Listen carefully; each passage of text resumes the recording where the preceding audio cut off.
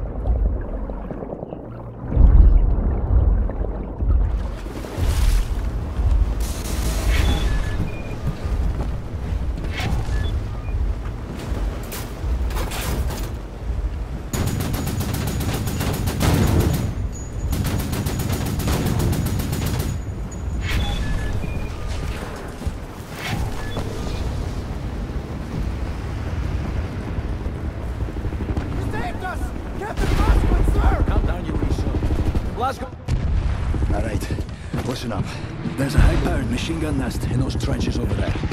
We cannot advance a unit without being slaughtered. So, I want you to make your way over into those trenches and take the nest out. Just run as fast as you possibly bloody can, straight up the middle. We'll lay down cover fire from here. Got it. Ah, I'll put this on. I'll radio updates from our position. Right, lads, you ready to lay down suppressor fire?